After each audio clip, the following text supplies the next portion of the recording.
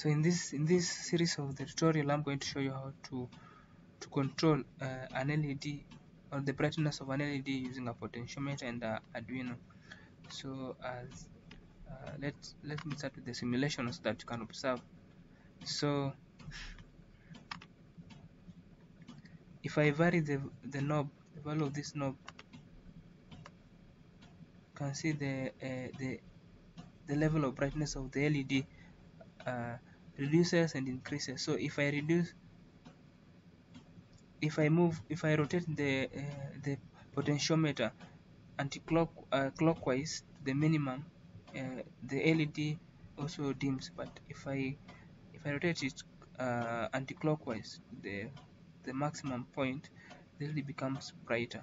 And if I leave it at midway the, the LED becomes uh, midway uh, midway bright so uh, so this is the the program or the code that that uh, that that that controls all all the functions of, of, the dimming LED so the first line is where we set up the LED to port 6 you use the pin 6 and then uh, the second line also we set up the potentiometer to to analog 0 and then uh, and then and now the the loop uh, this is the most important part where we, we do the mapping. We map the potentiometer value yeah, to a, a range of 1 to 255 this is the value that is uh, that is sent to the LED that's why there's the, the the lowest is 1 which makes the LED the uh, dimmest and then the highest is 255 which represent the highest uh,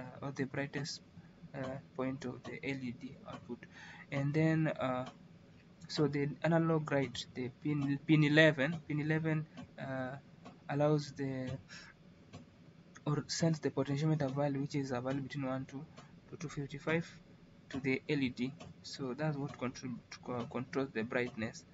So you can also if you look at the serial monitor you can see how how the value of the output changes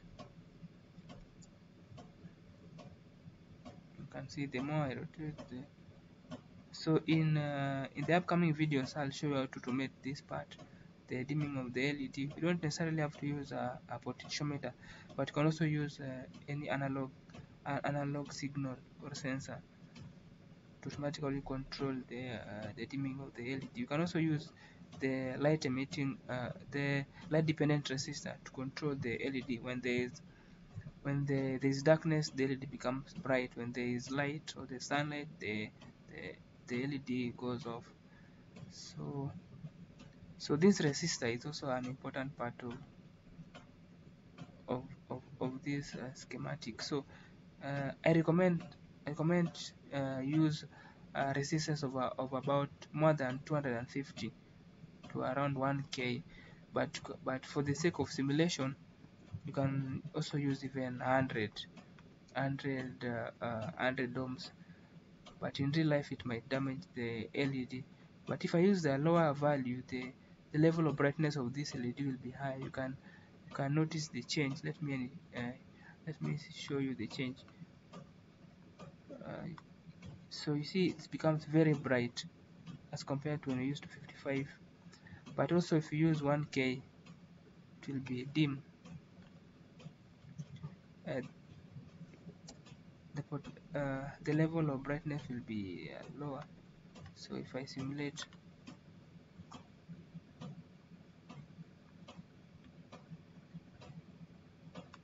it's very low very low. Uh, but let's let, let's let's experiment maybe we can use 10 ohms and see what happens. I've used 10 ohms so it becomes so much bright but here we have been given a warning.